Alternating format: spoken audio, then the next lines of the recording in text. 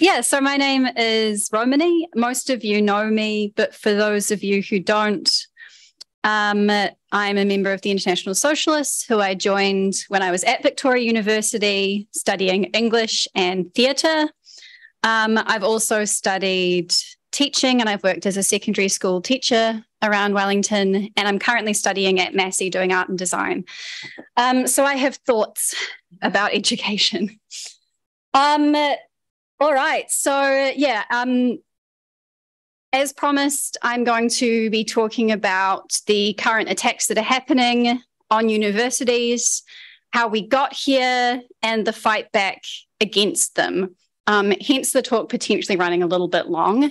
And even though it's going to run a little bit long, I still haven't had room to fit everything that I would want to talk about into this talk, but hopefully we can bring all of that into the discussion as well. Um, so, the current situation, I'm sure a lot of you are already pretty aware of this, um, but we're seeing attacks across multiple universities in terms of job and course cuts primarily.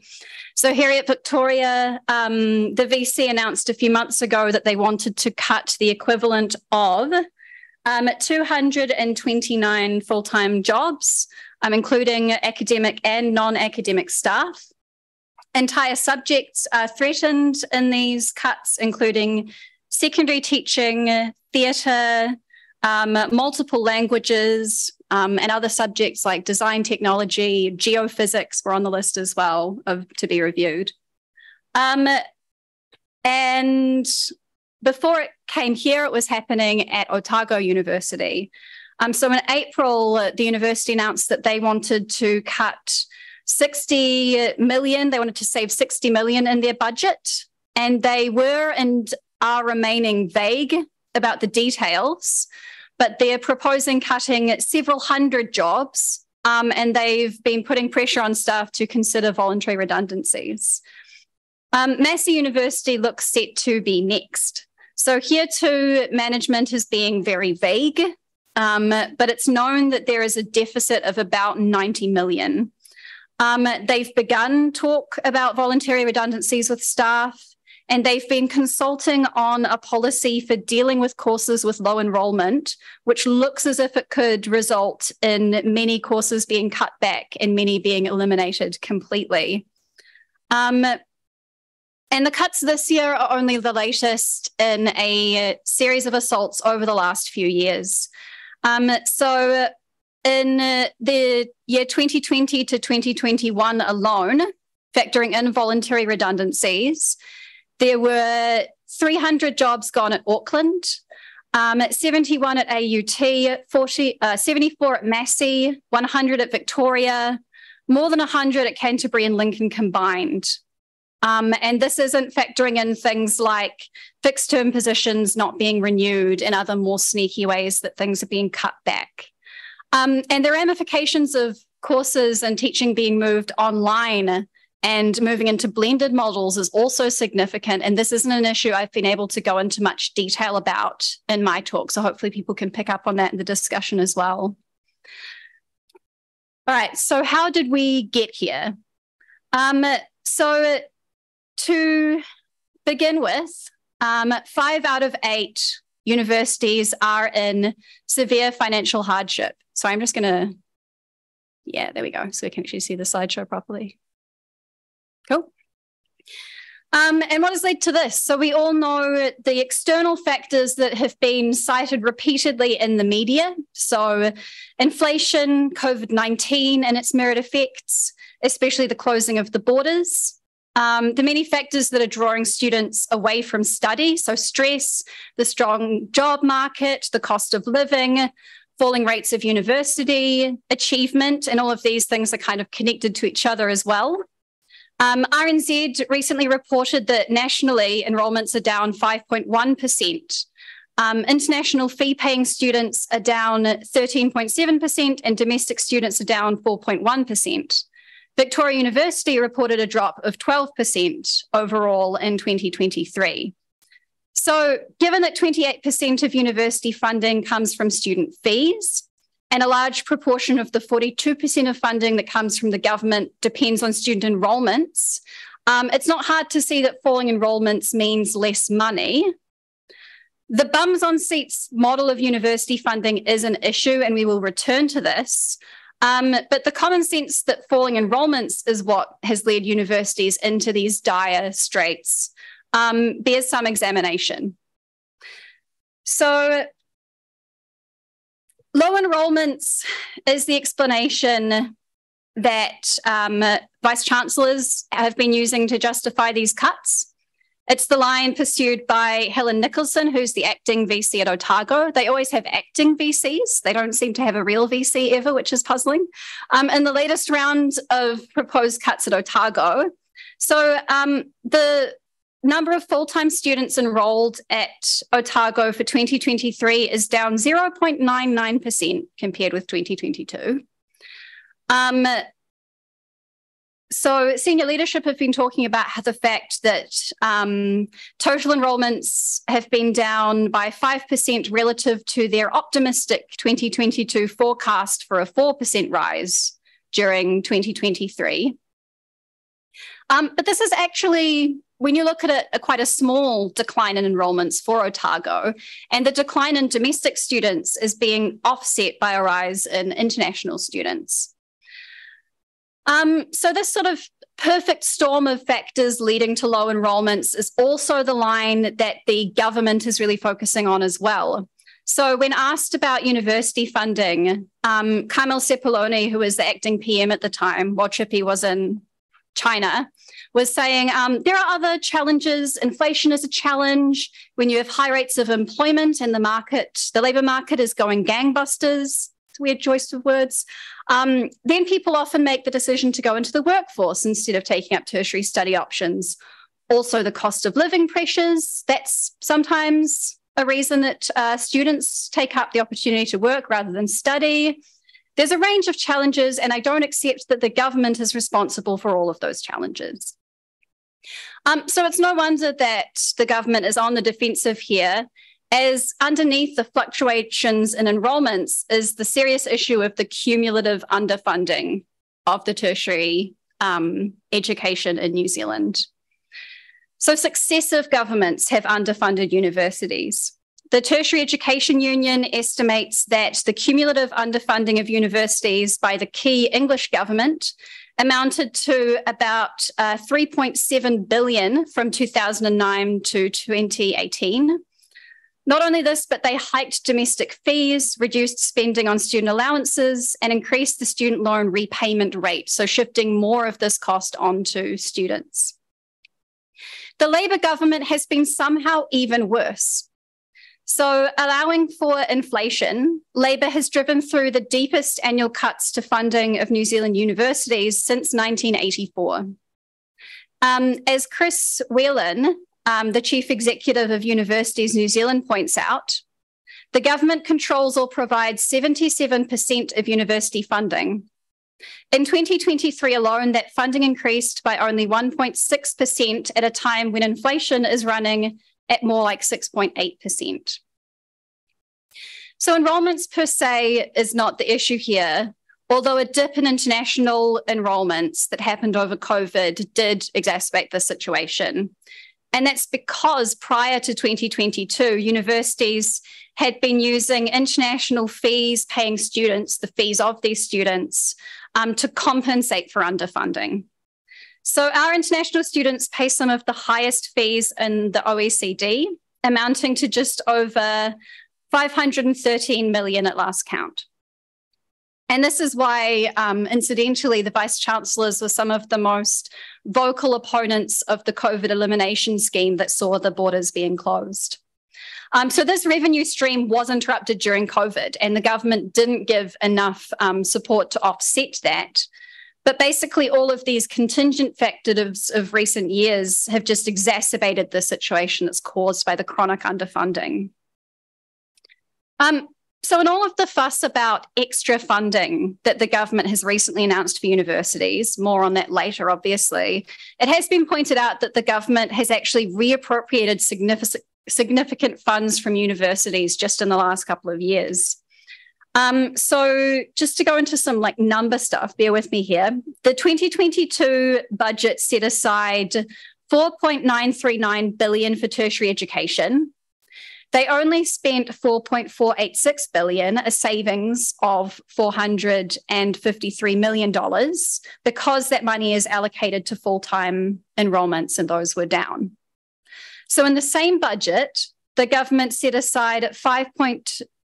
Uh, 5.328 billion for spending in 2023. Now that we're in 2023, the new budget revised that number, dropping it by 355 million. So to sum up, they underspent by 553 million in 2022 and have since cut 355 million from the budget this year. So this is enough money to bail out Otago, Vic, Canterbury, and Massey three times. So just keep that in mind as well throughout the, these discussions. Um, so this is not to let the leadership of the universities off the hook. So looking at what they are doing with the money that they do have, um, staff and students have notes. Uh, it's widely rumoured that the senior management at Otago has spent somewhere between 30 to 40 million on management consultants since 2015. Um, and here at Victoria, we've had a few um, issues with um, uh, strange priorities with the spending. Um, the expensive rebrand of 2017 to 2019, the massive building projects, marketing and competition with other universities, including buying real estate in Auckland near Queen Street. Um, I shouldn't say strange priorities, just different priorities from what we have for tertiary education. And then, faced with the repercussions of chronic underfunding, what have most of the universities done? Um, so the Tertiary Education Union has been trying for years to get VCs around the table to push the government to get more funding. Um, but rather than trying to tackle this issue of funding at the roots, um, they have chosen to take the axe to jobs and programs in an approach which is both unjust and hopelessly short-sighted. Um, but as long as you know, as long as they're keeping their cushy jobs, you know, um, who cares? All right. So, actually, though, how did we get here? Um, so, this brings us to the crux of the issue, really, which is that New Zealand is running its universities as businesses, not as a public service, despite the fact that they are still publicly funded institutions. Um, in large part, this comes from the neoliberal structures, uh, restructures of the 80s and 90s. Um, so tertiary education was virtually free from 1940 up until 1990. Um, in 1990, the final year of the infamous fourth Labour government, university fees were introduced. And they had been trying to impose this since 1984, um, but had faced significant pushback from students. The average student fee in 1989 was $125. 10 years later, it had risen to 3,222. Meanwhile, government spending on uh, tertiary education plunged, with the funding per student between 1985 and 1989, um, the funding fell by a quarter. So, very rapidly, the cost of tertiary education was shifted from the government to students. Um, successive governments, both national and Labour, continued this more market reform work throughout the 90s. This was the period where universities introduced um, fees, uh, full fees for international students. Um, and there were successive cuts to student allowances and hikes of fees as well. Enrollments fell during this period, um, particularly among students from less well off backgrounds, from working class families. Um, Māori enrolments in universities had been increasing throughout the 80s, but between 1994 and 1997, they fell by 28%. The management of universities changed in this period, um, with vice chancellors given sweeping new powers over budget um, as the chief executives of these institutions. Um, and management actually loved this. Um, so in 1996, um, there was a review. Um, uh, Victoria University management reviewed itself, reviewed the running of the university, and their recommendation was for um, an increased or wholly for profit orientation for the university, um, even calling for the Crown to privatise it. Um, so, in the, the, same time, so during this period where student fees are increasing and government spending on tertiary education is dropping, vice chancellor salaries more than doubled. So, under the current system, um, students are customers who go into massive debt to pay for their education. So, government funding is also tagged to bums on seats. There's also performance based research funding, which ties um, some of the funding to staff output. So, staff are constantly under pressure to be publishing and uh, applying for funding. Um, universities also get money by providing research and development for private companies. Um, and portions of the university funding of the government actually goes towards this. So public money is here being used to sort of subsidize private companies. Um, universities are required to operate on a surplus of at least 3%. So, alongside government funding, fees, research, universities are expected to make up their surpluses from commercialization, um, trading, and other revenue. So, running universities um, like businesses means that universities are vulnerable to the vagaries of the market. So, marketization is always trumpeted as a way to increase efficiency um, but I asked people to look at the current state of tertiary education in New Zealand um, and say whether this is an efficient system. So, maintaining the neoliberal ideology and turning over short term profits um, is being prioritized over the expense of long term sustainability. And we shouldn't be surprised that that's the approach that's being taken. Um, the pressure to turn a profit exercises all kinds of pressures internally. So, one of the most obvious ones is that universities cherry pick the subjects that they teach based on the ones that are profitable. We're seeing some of the ramifications of that at the moment with the cuts.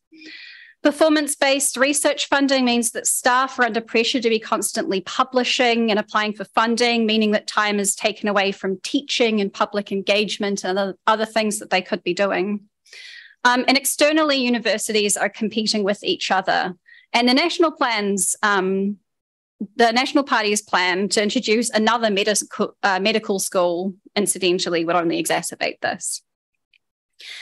Um, and the result of operating universities like businesses um, is that, like any business, the university is enriching the few at the expense of the many.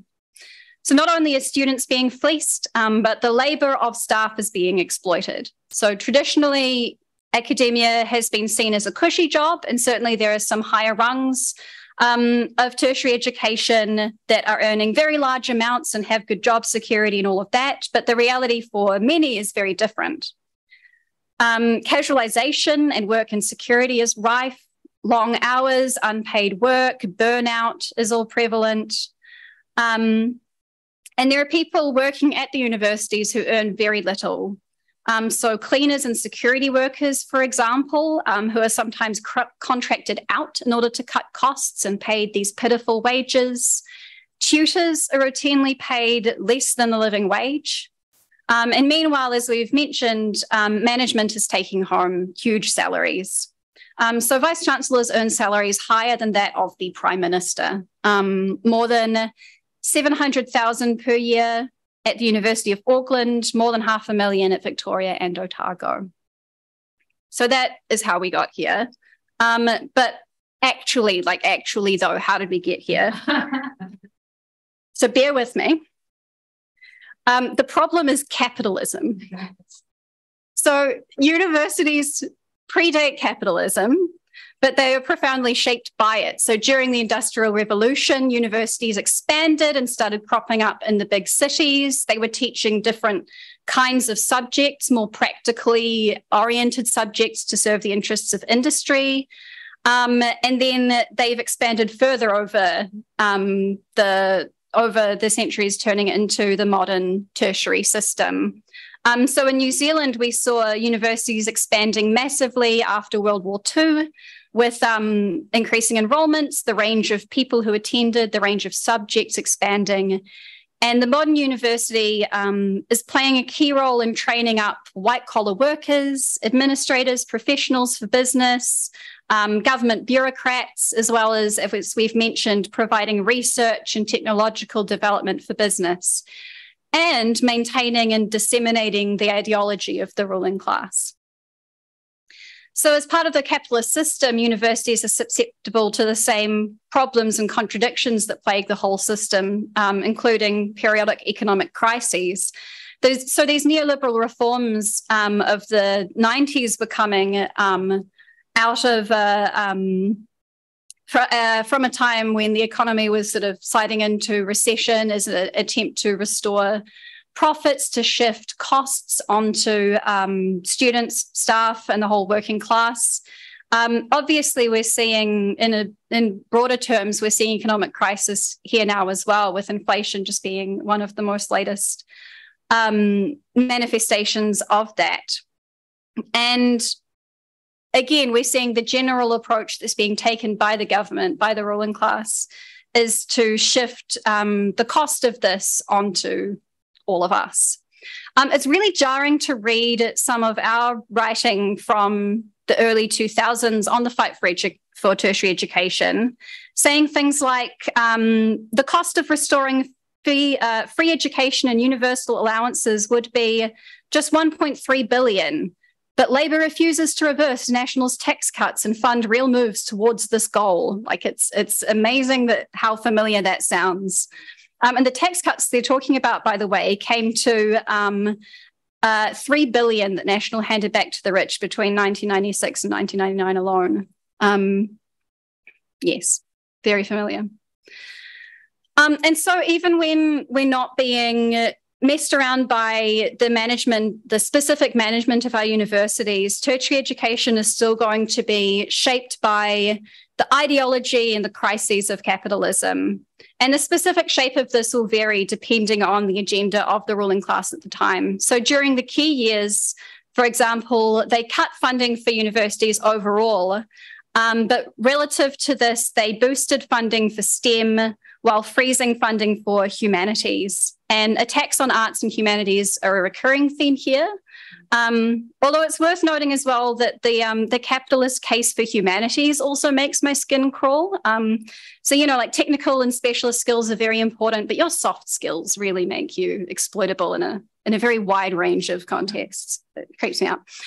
Um, yeah, so the current crisis is just one manifestation of a struggle um, against the commodification of education and of all the parts of our lives without an end, or um, which ends only with capitalism itself. Um, yeah, so I'll just address here the fact that um, university education sucks. Um, it feels a, yeah, it feels important to acknowledge this. Um, so we're stressed, broke, overworked, lonely, alienated, cold from living in shoddy flats um, and student accommodation. And as the cost of living and the cost of studying climbs, many are taking on jobs on top of study. Um, many are having to juggle childcare and other family responsibilities as well on top of this. So the grind of constant work and assessments takes away a lot of the joy of learning. Um, the nature of our assessments, which often feels very arbitrary, this focus on deadlines and presentation, has more to do with prepping us for being obedient workers than real learning, is how it feels a lot of the time. Um, there's a culture of competitiveness and anxiety around grades, limited entry courses, things like that. And while there are always those who are fighting to broaden university culture, it's often an un- uphill fight against narrow mindedness, elitism, overt and covert racism and sexism.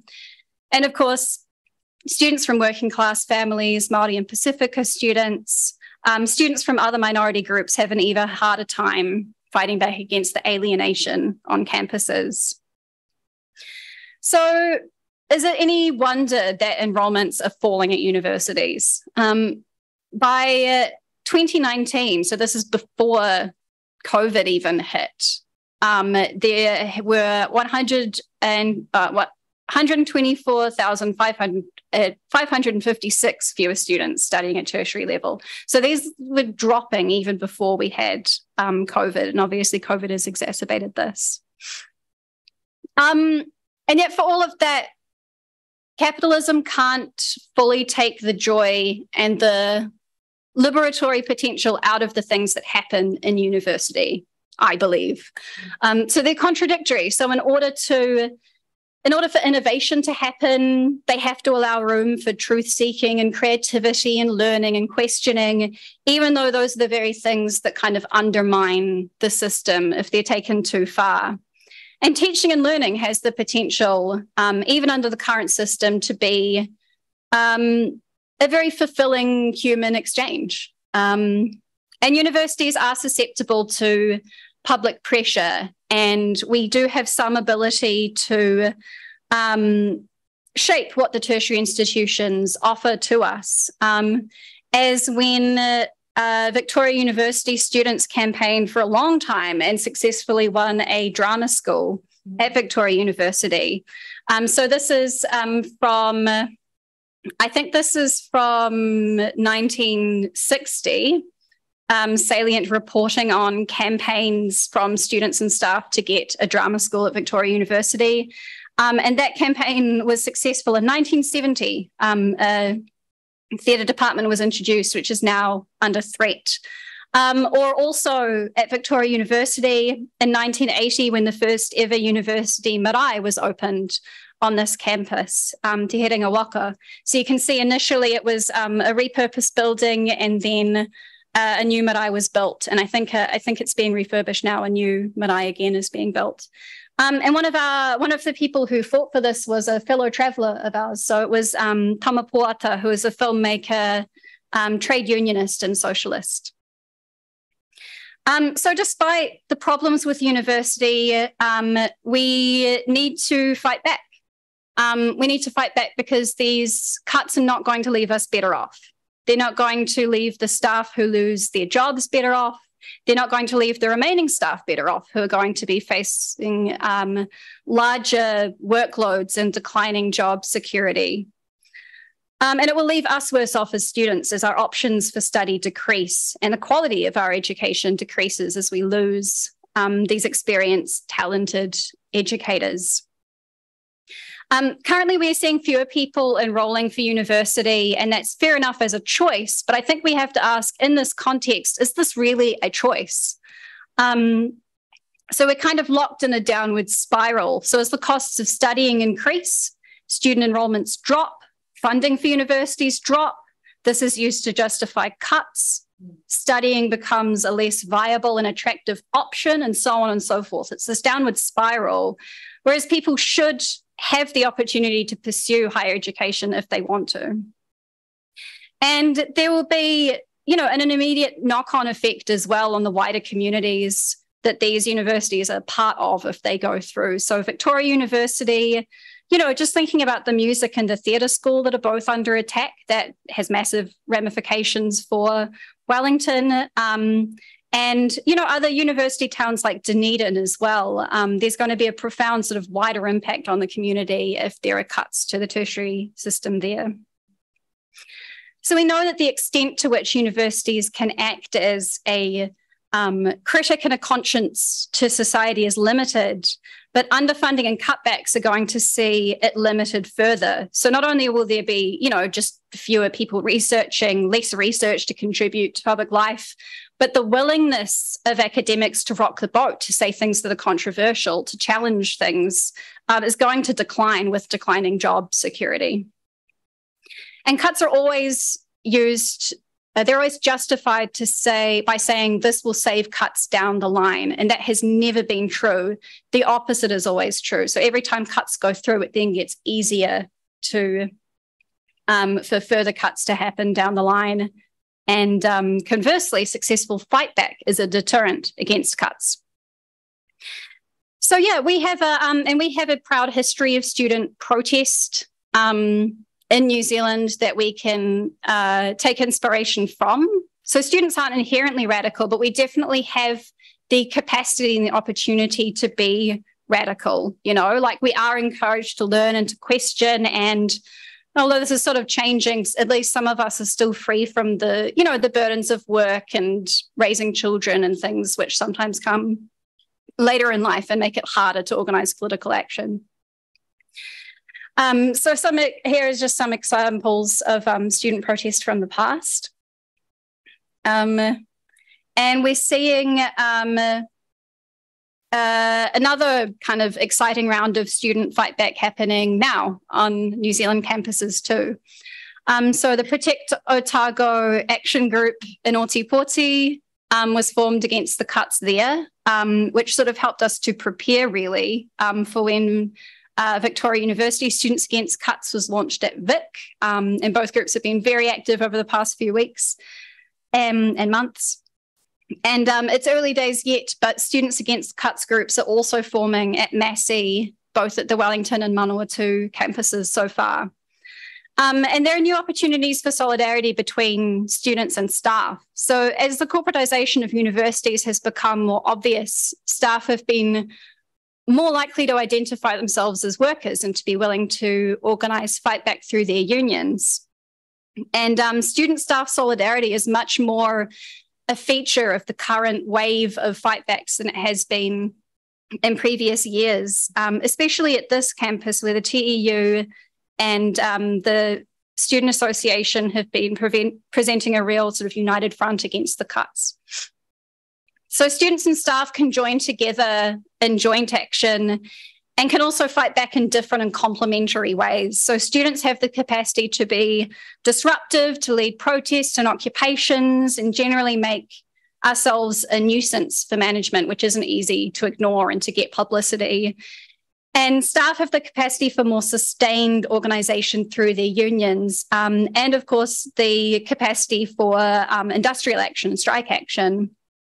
Um, so, which is one of the most powerful weapons that we have in our arsenal. Um, of course, there are very few instances where it's legal to strike in New Zealand. And at this time, it doesn't seem that there's much appetite for illegal strikes within the tertiary education union, but that could always change. And I think it's worth, um, you know, as students reminding staff that this is an option and that if they were to take that path, they could count on the support of students and the wider community for that and obviously, short of strike action, we should be supporting all of the um, the actions and initiatives that the the union members make against the cuts. Um, so, just to wrap up, I'll talk about the um, the recent funding that has been announced. So, this is sort of a win and a challenge. Um, so, as I mentioned, for years the TEU has been campaigning to get VCs to the table push for more funding. And finally, this is happening at least at some universities to varying degrees. Um, and in response to our demands, the government has given an extra 128 million in funding to be spread over 2024 and 2025. Not a huge amount, especially uh, considering the numbers that we discussed earlier in the talk. They've also announced a review of the funding model. Um, which will take two years, um, and the scope is to be decided at the end of 2023. Um, so this is a win and also presents us with some new challenges. The government is going to try to say, well, we've given you some more money, that's enough. The universities will try to say, oh, it's this isn't enough money, we're just going to go ahead anyway. So we need to be still putting pressure on the vice chancellors um, to say that we still oppose these cuts. You should be using this new funding that you've been given to save as many jobs and programs as you can. Um, and working across universities is useful for this because um, at Vic, they've at least said they're going to reassess the situation now they have more funding. Whereas at Otago, they claimed, oh, it doesn't come in until next year, so it's not relevant. So we can kind of say, well, hang on a minute, they're doing it at Vic. um, and on the review of the funding model, um, this is this has opened up the question of what university funding and what university education should look like. Um, and I reckon that we should be we should be pushing this. We should be using this as a chance for us to talk about this issue and to raise our own demands. So the vice chancellors are talking about more cooperation between universities and utilizing digital technology and online teaching more and things like that. Um, so the question is not just what kinds of reforms are put through, but like how and to what end and in whose interest. Like, are they going to mean improvements for staff and students, or are they going to mean just more exploitation, worse quality teaching and learning, so on and so forth? And so the direction that that goes on depends on us, um, depends on the pressure that we exert as staff and students and members of the wider community. So some of the demands that we could be talking about, that we could be raising in this period, are um, free tertiary education. Like, why not? Um, remember when Labour introduced one free year of tertiary education, saying they're going to keep unrolling another year and another year, and then they just didn't. Yeah. Um, come on. Um, a move away from the user pays model, a move away from performance based research funding, and increased provision of student allowances, or scrapping the student loan scheme altogether and introducing the universal education income, which is what's being ad- advocated by the New Zealand Union of uh, Students Associations. Yeah, so that's um, yeah, that's my introduction, and I'll just say on top of that, um, I think we should be proud of what we've achieved so far, both here in Wellington and other centres as well. Um, so we've put back a fight against the university management, against these cuts, and we've won concessions from the government. So they were very willing to just wash their hands of this whole situation at the beginning of this period. And now they've now shifted to having to acknowledge it you know. Um, so we've made it into an issue that they can't ignore and we should keep doing that